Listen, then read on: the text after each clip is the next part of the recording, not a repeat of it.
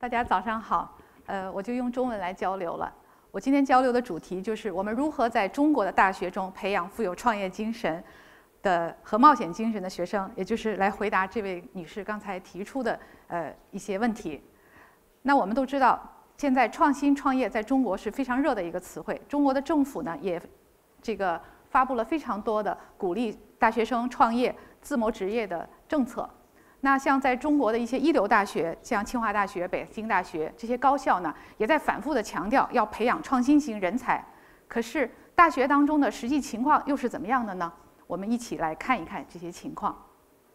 现在的中国的高校中的这种院系的体系啊，就好比把学生都像种子一样储存在一个一个的玻璃瓶子里，这些瓶子之间是不相通的，也就是说，没有给这些种子发芽的环境。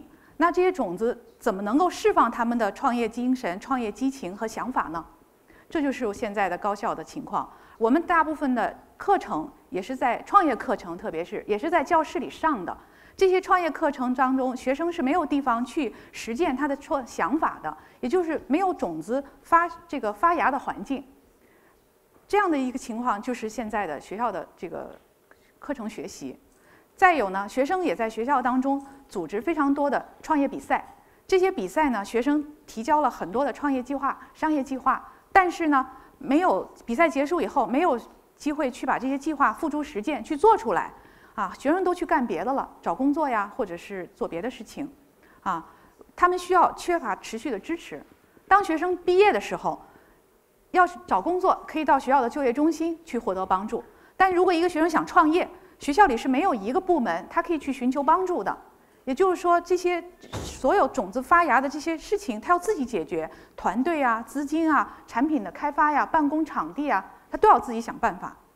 大学里还有很多的科技园区，这些科技园区呢，门槛越来越高，比如这个注册的这个场地费用、注册公司的费用等等。由于这些成本太高，学生呢创业的风险就很大，所以他们往往知难而退。啊，选择就是去找工作了。还有呢，大学呢也筹集了非常多的资金来支持呃高校的建设。这些资金呢，往往用在了硬件方面，比如盖大楼。那我们就希望呢，这些捐赠的资金能不能多用在一些软环境的建设上，比如用在培养创新人才的一些平台呀、一些措施当中。所以，针对前面所有这些问题，我们的解提出的一个尝试性的解决方案，就是要建设一个开放性的创新创业的平台。这个就好比要打造、营造一个创新创业的环境给我们的学生，让他们有机会把他们的创业的想法、创业的激情在这个环境当中释放出来。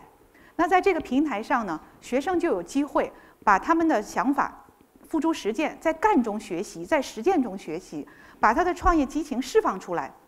把他的创业想法呢，通过一步一步的去实践、去尝试、去做做出来，乃至于创办新的公司，这是我们的一个想法。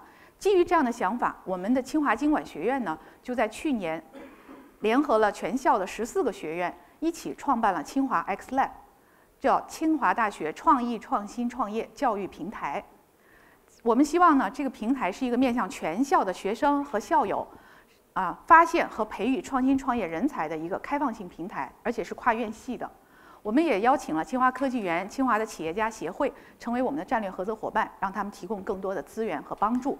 当然，我们还需要更多在资金方面、在资源方面的支持，以便呢服务和支持更多的学生的创业和创新。那现在呢，我们就有一个五百平方米的空间在清华的科技园里面，在地下室。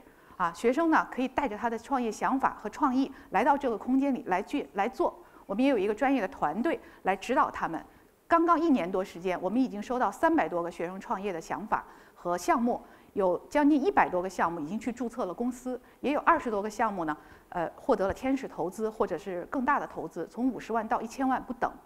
那这些呢，就都是学生创业项目的标识，他们的 logo。啊，我们可以看到呢，就是。虽然时间不长，但是短短一年多的时间，我们呢就有机会让这么多的学生项目发芽、成长。而且呢，我们确信的一点就是，学生一旦给他了一个好的环境，就是一个创业创新的环境，他的发芽和成长就会非常的快。啊，这就是我们这一段时间里得到的一个体会。但是，如何让这种培育更加系统性、更加持续性啊、更加有效，是我们所面对的一个很大的挑战。那我今天呢，也就希望跟各位有机会一起来探讨，我们如何更好的培养富有创业精神的学生。谢谢大家。